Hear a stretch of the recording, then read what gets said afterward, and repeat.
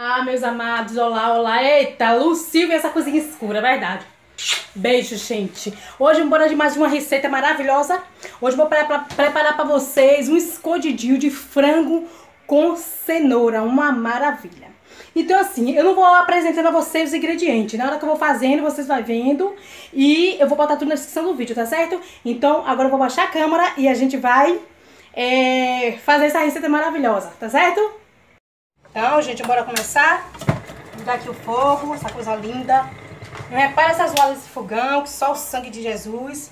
Minha panelinha aqui, né? Eu tenho aqui um peito de frango cozido e desfiado, certo? Primeiro a gente vai, reparar, vai, vai fazer o recheio desse escondidinho, né? Que vai ser o frango com cenoura. E tenho aqui também meu empim já cozido que eu vou amassar, tá certo? Vou amassar esse empim. Então, nossa frigideira já tá quente. Agora eu vou colocar uma colher de margarina. Uma colher de margarina para derreter, certo? O maridão tá ali amassando o empim, que já tava cozido, né? Cozei com água e sal. Tem um quilo de empim, gente, viu? Um quilo de empim, um peito de frango. Vou derreter essa margarina.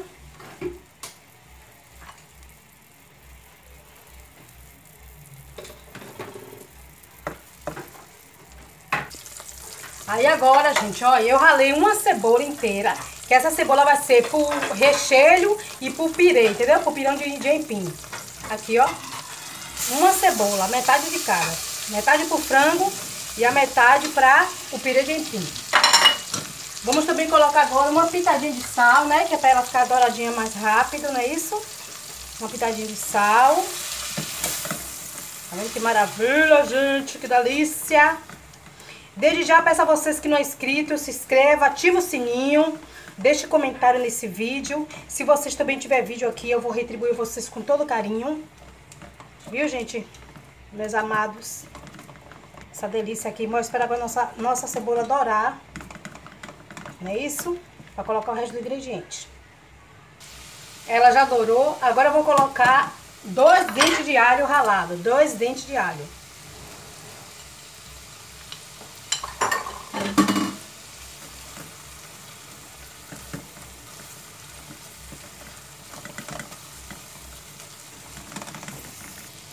Depois de tudo bem douradinho, a gente vem com pimenta do reino, né? Que aqui em Salvador a gente chama de cominho.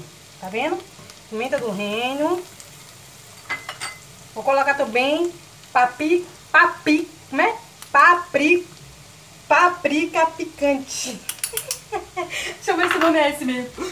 Rapaz, é sério, pra você, viu? Tem coisas que eu, não, que eu não consigo falar direito, não.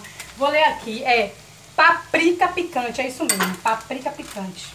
Tem coisa, gente, que eu não consigo ler direito, não consigo falar direito não, eu acho que é minha língua, sei lá, pega. Você viu? Coloquei pimenta do reino, paprika picante.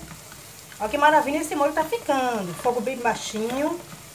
Tá vendo, gente? Tá vendo? Que maravilha. Vou colocar também um pedacinho de, de quinó.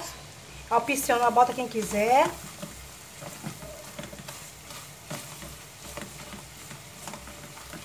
Vendo?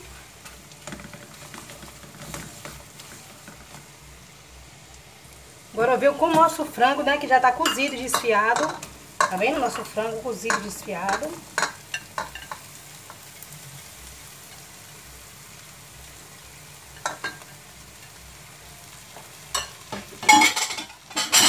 Eu vou pegar uma colher de pau, fica melhor pra mim.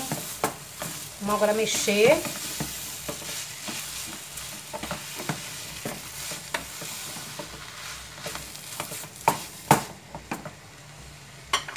Agora vem uma cenoura inteira ralada. Aqui tem uma cenoura, viu, gente? Essa cenoura foi grande.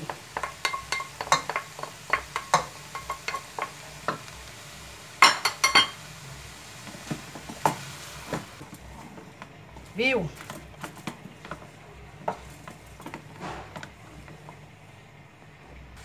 Agora eu venho com a colher bem caprichada de maionese. Ou maionese, ou requeijão, ou catupiry, vocês usam o que vocês quiserem. Eu tô usando maionese. Tô usando maionese. Opcional, bota quem quiser. Quem não quiser também não bota. Certo? Se vocês quiserem também não bota, não tem problema.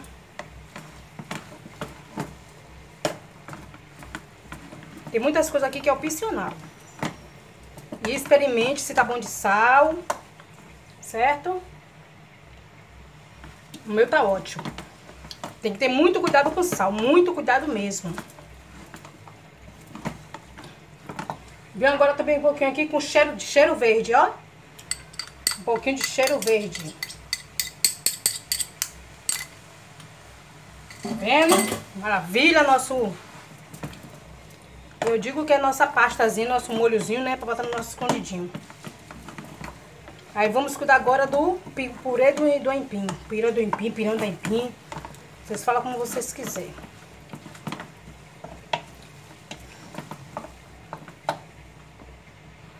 Quase eu esqueço também do nosso molho de tomate. Nosso molho de tomate. Quase Lucil esquece. Ô, gente, como é que pode isso? Não pode esquecer não, nosso molho de tomate. Pode esquecer não, gente. Gente, vocês têm noção como isso aqui tá gostoso? Vou desligar o fogo agora. A mostrar pra vocês essa maravilha pra aqui, olha.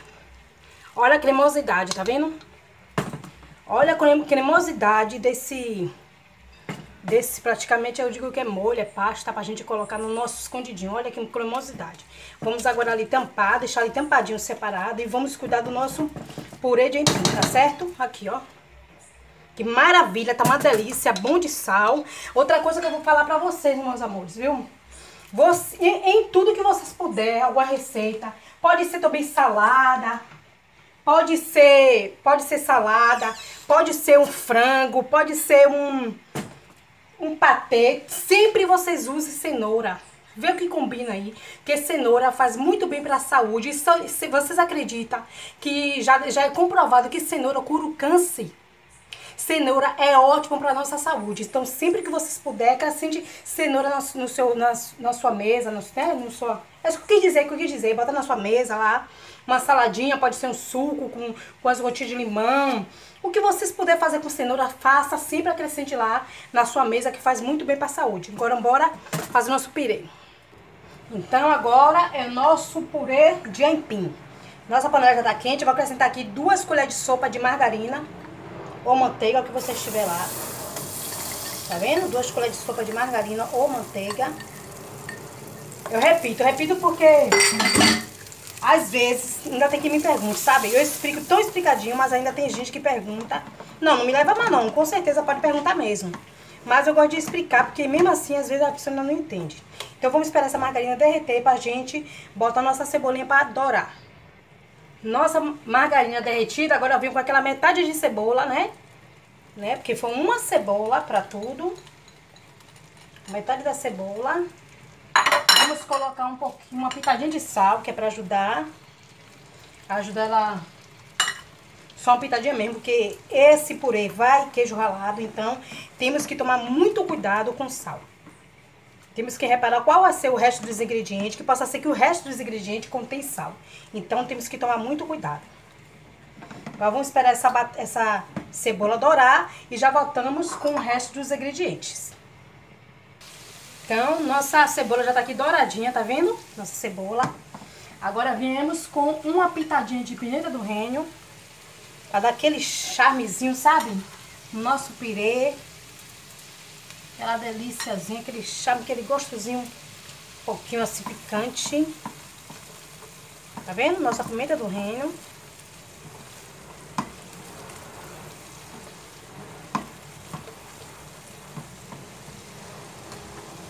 Eu venho aqui com um pouquinho de, de queijo ralado. É, vou botar aqui. Vocês podem botar depois, mas eu vou botar logo, ó. Queijo ralado. Tá vendo? Vou deixar um pouquinho pra jogar em cima do nosso escondidinho aqui nosso queijo ralado.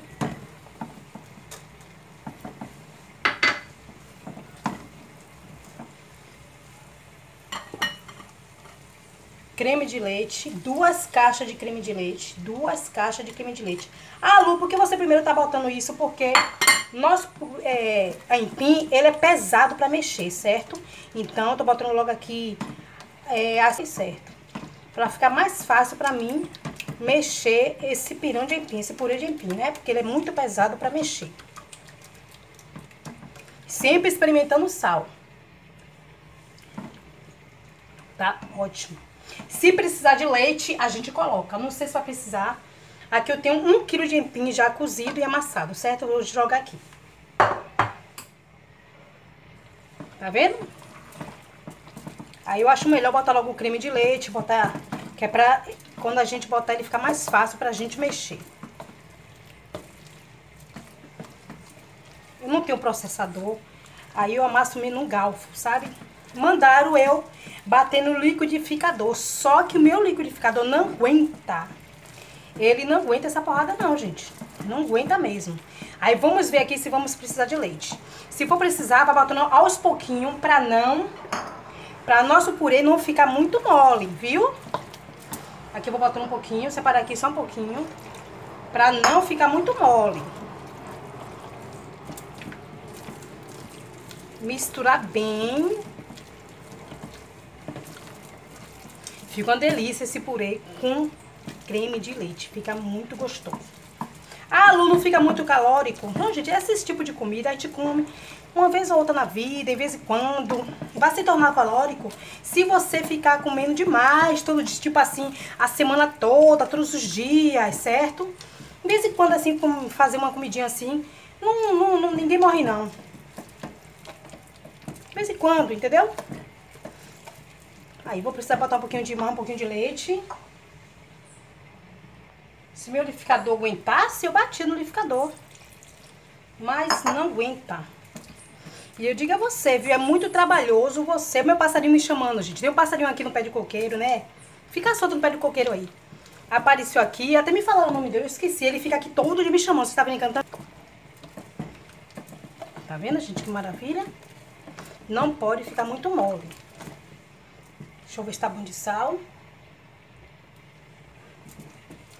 Tá ótimo. Tá vendo? Temos que ter cuidado com queijo ralado. Ter muito cuidado.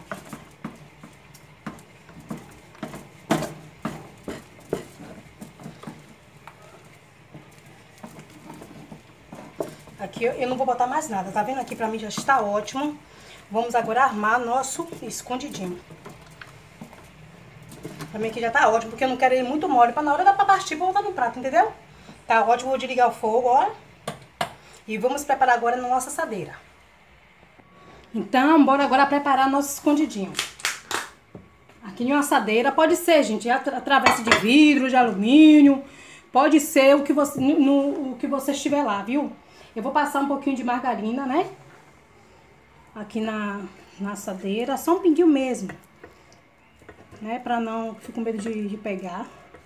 Meu forno é muito doido, ele é muito forte, meu forno, muito alto. Quanto mais eu abaixo, mais ele fica alto. Vamos agora preparar nosso escondidinho maravilhoso. Olha que delícia ficou, gente. Tá vendo? A consistência é essa, tá vendo? A consistência é essa. Não pode dar muito mole. Porque senão, na hora que você for servir as pessoas, ele fica... Não fica legal. Muito mole ele não fica legal na hora de você partir. Pode ficar muito mole. Então, enquanto isso, eu vou forrar aqui, né? Aí já volto botando recheio pra vocês verem. Então, meus amados, botei a primeira, tá vendo? Olha que maravilha. Toda hora eu tenho que dar pausa, porque tem um som aqui muito alto aqui do vizinho, muito alto mesmo, né? Forró aqui. Eu tô com medo de me cobrar direitos autorais. Então agora vamos pro nosso recheio. Olha que maravilha, olha. Nosso recheio. Tá logo tudo de vez. Adiantar meu lado, por causa do som aqui tá muito alto. Olha que maravilha esse recheio, gente. Olha que maravilha. Enquanto isso eu vou espalhar, espalhar, aí eu vou dar pausa de novo, porque o som tá aqui tá muito alto. Meus amados, vocês têm noção que o cheiro que tá aqui, gente, vocês têm noção? O cheiro que tá esse recheio aqui, que maravilha. Vamos agora botar a outra camada do nosso purê, certo, gente? A outra camada do nosso purê. E espalhar direitinho. Olha, meus amados, que maravilha, gente!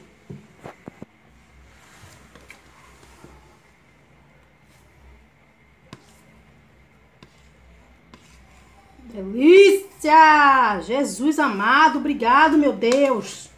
Tu és maravilhoso, Senhor. Só tenho a agradecer, Pai. Abençoa, Pai. Abençoa a vida de cada um, Pai. Cada um que chega aqui esse canal. Cada um que parar para visualizar esses vídeos. Abençoa a vida deles. Prospera, Pai. Derrama chuva de, chuvas de bênção, Senhor. Derrama chuva de bênção, Pai. Prospera, Pai, prospera. Quem tiver precisando de saúde, dá saúde, Senhor da glória. Abençoa, Pai, teu celeiro, tua mesa, Pai. Que todos os dias na casa deles venha dar media, Pai.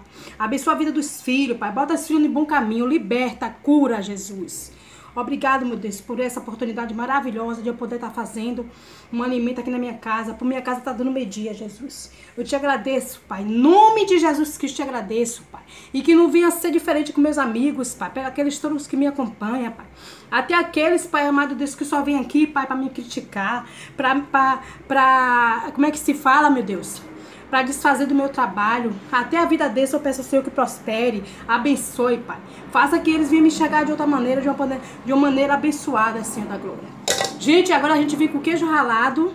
Se vocês tiver queijo parmesão, vocês colocam queijo parmesão, né? Mas eu vou colocar queijo ralado. Só um pouquinho para não ficar muito enjoado. Só um pouquinho mesmo. Vamos agora levar para gratinagem. É, meu forno já tá ali pré-aquecido, 170, 170 graus. Por isso que eu tenho que falar toda hora, porque às vezes as pessoas não entendem, né, a maneira que eu falo, né? Tá lá 170 graus, vai ficar 20, 15 a 20 minutinhos, dependendo de cada forno. O meu aqui é muito alto. Eu tenho que tomar cuidado, ficar só observando. Não bota muito queijo ralado, eu tenho medo de ficar salgado. Então, daqui a pouco voltamos com essa maravilha já gratinada. Daqui a pouquinho. Olá, pessoal. Olá, olá, olá. Olha nosso nosso escondidinho já prontinho, certo? Olha que maravilha, olha que delícia. Vou partir um pedaço aqui pra vocês, pra mostrar pra vocês. Tá muito quente. Possa ser que esteja meio molinho, porque tá muito quente, certo? Aí, mais o marido já quer almoçar, né? Eu queria filmar a gente almoçando, né? Mas ele não quer. Então, deixa eu tirar um pedaço aqui pra mostrar logo a vocês. E já volto. Então, gente, olha aqui, tá vendo que delícia? Olha que maravilha. Olha, gente, tá vendo? Olha que delícia, tá bem quente. Quando ele tiver um pouquinho macio, quando você corta, ele tá bem, bem mais firme. Olha, deixa eu experimentar aqui essa maravilha pra vocês verem. Olha pra aqui, olha pra aqui, gente. Olha, meus amados, que maravilha. Olha que delícia, tá muito quente. Hum, tá muito quente. Delicioso. Foi isso que eu queria passar pra vocês, certo? Agora eu vou arrumar a mesa aqui que o maridão quer almoçar. Fiquem todos com Deus. Eu peço a Jesus Cristo que vocês tenham gostado, viu? Deixa aí o seu joinha. Deixa aí o seu joinha, certo? Compartilhe suas redes sociais. Vocês que não são inscritos, se inscreva. Fiquem todos com Deus. Com Deus. Beijão. Fica aí com a imagem dessa maravilha. Até mais.